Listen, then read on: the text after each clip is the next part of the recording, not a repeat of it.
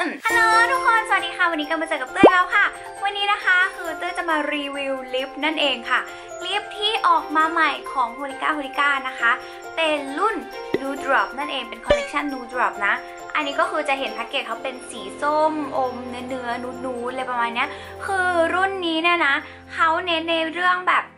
สีธรรมชาติอะไรประมาณนี้นะคะ แล้วก็เนื้อเนี่ยนะปรับจากรุ่นที่แล้วมา วันนี้จะจะมาพูดว่ารุ่นตัว Water Drop Tint Bomb กับตัว Nude Drop เนี่ยต่างกันยังไงด้วย เพราะว่าเห็นหลายๆคนนะถามกันเข้ามาว่า ตัวไหนเป็นยังไง แล้วก็ต่างกันยังไงเหมือนกันไหมอะไรเงี้ย คือวันนี้ก็เลยจะมาพูด แล้วก็จะมาสวอชให้ดูด้วยทั้ง 4 สีเลยนะคะ ไปดูกันเลยดีกว่าค่ะจากที่หลายๆคนเห็นไปนะคะ เติ้งเคยทำคลิปวิดีโอรีวิวเรื่องของ h o l i c a h o l i c a Water Dot Tint Bomb ไปแล้วนะพูดปากรัวมาก อะ คือตัวนั้นน่ะเติ้งจะพูดไว้ว่าเขาจะมีเป็นน้ำเย็นๆ แล้วก็แบบทาแล้วมันจะลื่น แล้วก็พอเซตเนี่ยจะติดเป็นแผ่นฟิล์มเลยใช่ไหมแล้วก็ตอนนั้นเติ้งย้ำว่าให้ทาเร็วๆนะคะ แล้วก็รุ่นนั้นเนี่ยจะเป็นสีสดใสนะพอดีตอนนี้เติ้งอยู่กรุงเทพเติ้งก็เลยไม่ได้เอามาเทียบให้ดูนะ จะมาบอกว่าไม่เหมือนรุ่นนี้นะ คือรุ่นนี้ไม่เหมือนกันเลย รุ่นนี้เนี่ยนะคะ จะเป็นเนื้อแบบ ค่อนข้างอมบามๆขึ้นมานิดนึง ตอนทาไปเนี่ยยังมีความเย็นติดปาก ที่ต่างกันก็คือตัว Water Drop Tint Bomb เนี่ยเขาจะเซตเป็นตัวแบบแผ่นฟิล์มอะไรเงี้ย คือเราจะไม่สามารถถูหรือเกลี่ยได้อีก ตัวเนี้ยเนี่ยนะมีคนบอกว่า เออเนี่ยเคยลอง Water Drop แล้วอะมันเป็นคราบตัวเนี้ยเป็นหรือเปล่า ตัวนี้ไม่เป็นคราบเด็ดขาดเพราะว่าเขาออกเนื้อบางๆมาก เดี๋ยวเราจะไปสวอชกันให้ดูลงแขนก่อนนะคะ แล้วไปดูเนื้อกัน ปึ๊บปึ๊บปึ๊บปึ๊บอันนี้คือสีเบอร์หนึ่ง นี่ ประมาณนี้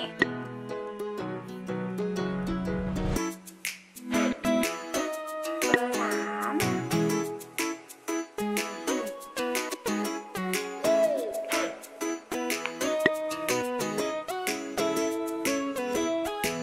นี่เลยนะคะเป็นสวอชเบอร์หนึ่งสองสามสี่นะ ก็คือเขาจะออกเป็นโทนแบบ นูดนูดเบดเบดนิดนึงอะดูในกล้องอาจจะสีสดใสไปนิดนึงนะ แต่เวลาตอนทาลงปากอะตัวนี้เนี่ยนะคะไม่ได้กลบปากร้อยเปอร์เซ็นต์นะ จะบอกว่าเขาเป็นเนื้อลิปแบบค่อนข้างใสๆนิดนึงนะ อันเนี้ยก็อาจจะต้องดูพื้นสีปากของตัวเองก่อนว่าเหมาะกับสีไหนนะ แต่ที่เต้งจะแนะนำเลยเนี่ยนะ คือเป็นเบอร์หนึ่งกับสองสองตัวเนี้ยน้องๆเคยถามว่าลิปไหนทาไปโรงเรียนได้เต้งแนะนำว่าเป็น 2 ตัวนี้เลย คือสีมันแบบเนียนมากจริงๆ แล้วก็ทาไปโรงเรียนได้ เราจะทาเป็นลิปบัมก็ได้ด้วยนะคะ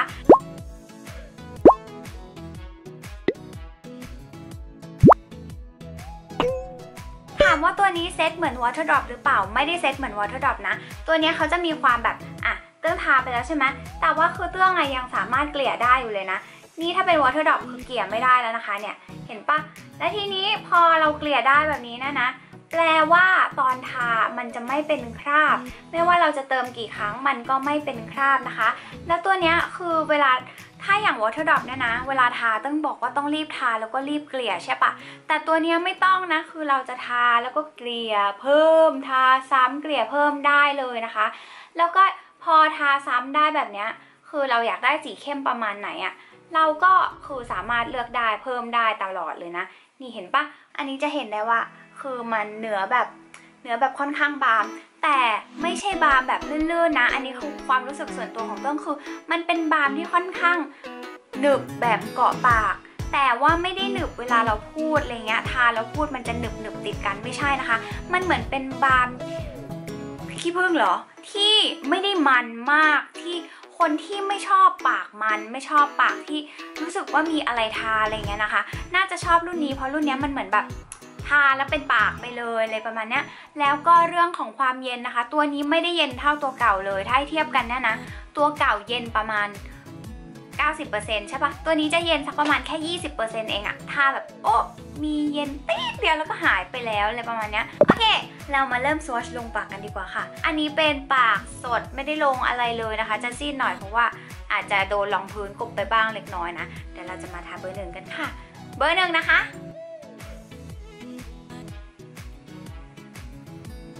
ชเนี่ยเบอร์หนึ่งเขาจะเป็นสีอ่อนๆ แทบเรียกได้ว่าเป็นสีปากธรรมชาติเลยก็ได้นะคะ เป็นสีชมพูนูนๆนิดนึงเนาะ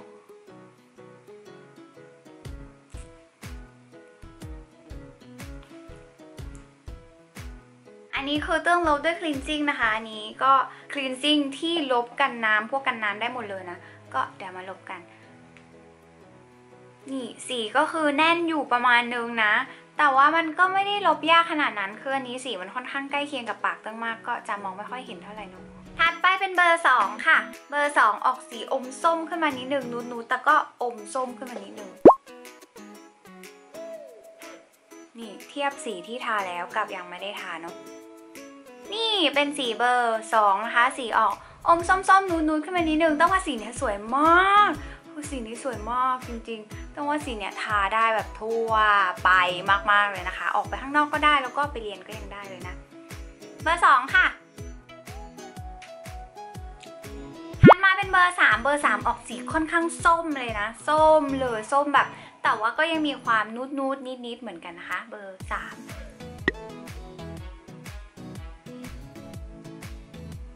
ไอชูนี่ เบอร์สาม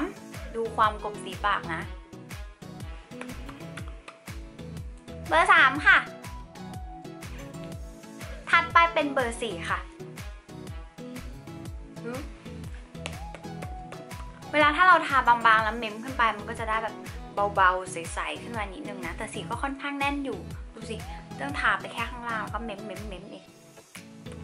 อันนี้เป็นเบอร์สี่นะคะ เบอร์สี่จะออกสีแดงเลยนะ แต่ว่าคืออันเนี้ยถ้าเกิดทาเบาๆอะ แล้วเราทาแล้วก็เม้มเม้มเม้มนะ มันจะได้เป็น look สีแบบออกอมแดงที่ค่อนข้างธรรมชาติมากเลยนะคะ แล้วก็มันก็สีแน่นที่สุดด้วยเบอร์สี่นั่นเองค่ะ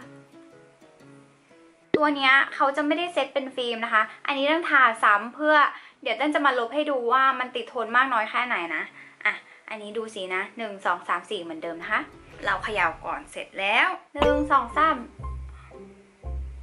เนี่ย คือดูดิ คือถ้าเกิดว่าเทียบกับ Waterdrop นะ Waterdrop ยังอยู่อยู่เลยนะ แต่อันเนี้ยมันค่อนข้างหายไปแล้วอะ stain ไม่เพี้ยนนะคะ แต่ว่ามันลบออกมันลบออกถูสัก 2 รอบก็หมดแล้วอะทางทั้งที่ถ้าเป็น Waterdrop นะข้ามวันแล้วก็ยังไม่ออกเลยอะ กทางเลือกหนึ่งนะคะสำหรับน้องๆที่แบบอยากหาลิปไปโรงเรียนที่มันค่อนข้างธรรมชาติทาได้ง่าย ปากแตกก็ทาได้ ปากแห้งก็ทาได้อะไรประมาณนี้ถ้าเราทาเกลี่ยๆนะ ปากมันจะดูละเลื่อนละเลื่อนละเลื่อนมากเลยนะ คือมันจะดูเป็นธรรมชาติมากอะไรประมาณนี้สำหรับวันนี้หวังว่าเพื่อนๆคงจะชอบคลิปนะคะ ถ้าชอบอย่าลืมกดไลค์กด subscribe กดกระดิ่งไว้ด้วยนะ วันหน้าเรามาเจอกันใหม่ วันนี้เต้งไปแล้วค่ะบ๊ายบาย